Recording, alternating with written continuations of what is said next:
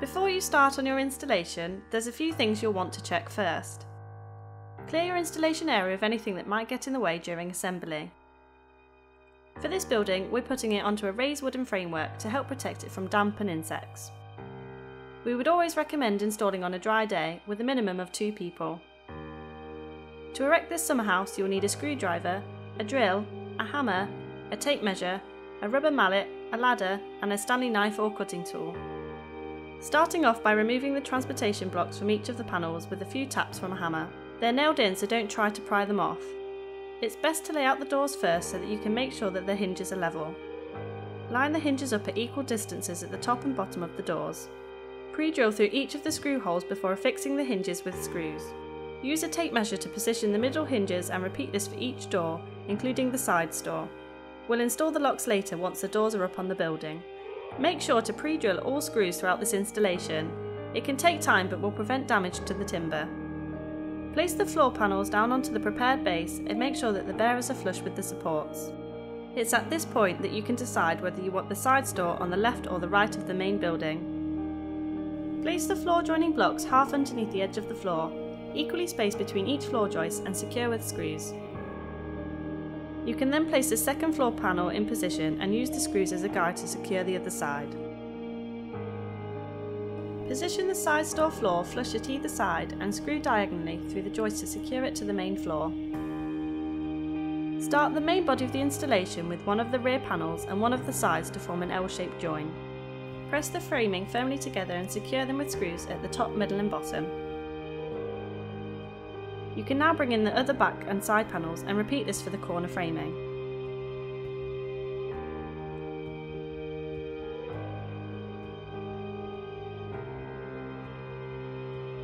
Join the two back panels through the framework before moving on to the dividing wall. Position the panel against the centre framing of the back panel and secure in place. Next you will need to place the wall gables onto the panels. These can be a tight fit and you need to make sure that the tongue and groove boards interlock on the sides. Use a mallet to tap these into place and secure with screws through the framing. The next step is to work on the front. Place the front gable down flat and place the door panels within the aperture. Position the hinges over the edge of the frame and secure through with screws. With the doors fitted, you will need to install the front window panel. This is secured in the same way as the other panels. Move the door panel into position and secure the same way with screws on either side of the top, middle and bottom. With the walls in place, you can now secure the internal framing down to the floor to prevent any movement. Repeat this at equal intervals around the entire building. For the next step, you need to position the side door wall against the dividing wall panel and secure in place. You can now secure the side door door frame to the front of the building. The final small wall gable needs to be fitted on top of the side door wall as before. Position the side door door within the frame and secure the hinges in place. With all the walls in place, you can now position the veranda. Place the boards in front of the door panels, making sure that the two panels align and are flush with the edge of the building. Secure these using screws diagonally through the framing and into the door panel. Slide the roof panel up onto the gables until it reaches the front of the building, covering the side store and leaving an overhang at the front. Secure it in place through the board and into the framing of the gables below, along each edge and repeat for the second panel. The roof strips need to be placed on the back of the building and positioned to close the gap where the roof meets the back panels. These should be flush with the edge of the roof and secured with screws. The roof framing also needs to be attached in the same way and made flush with the top of the roof board. With the felt, either measure the length of your roof with a tape measure adding a few extra inches either end for overhang, or as we've done here, you can roll it out along the length of your building and cut to size. Use a Stanley knife or cutting tool to cut the felt for a nice clean finish. For this building, you will need three strips of equal length which will overlap to cover the roof. Start at the back of the roof and work forward to create an effective water runoff. Tack the felt along the length of the roof to secure it in position and then evenly along the sides. Repeat this for the other two strips of felt overlapping the previous piece each time. You can now place the roof undercover in position. We found it easiest to position it in place and then mark it with a pencil to align the framing before securing with screws.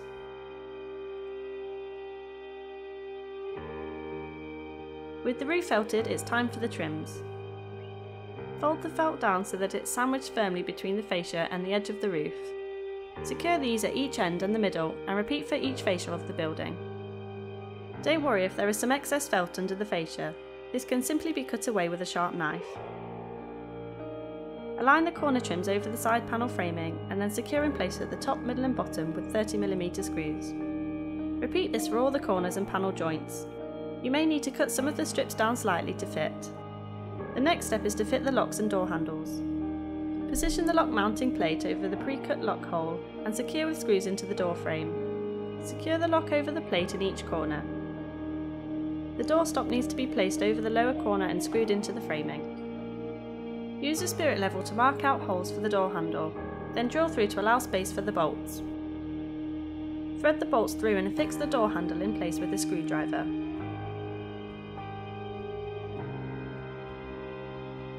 Place the door lock into the pre-cut recess and thread the handlebar through the mechanism.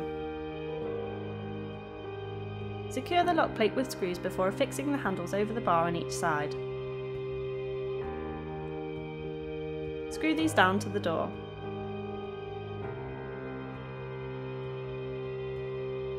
Affix a bolt at the top and bottom of each door before drilling a bolt hole into the framing to secure the lock. A turn button should then be installed on the top and bottom of the slave door.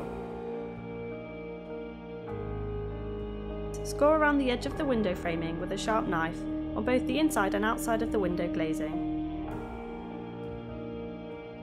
You should then be able to peel the protective plastic off the windows.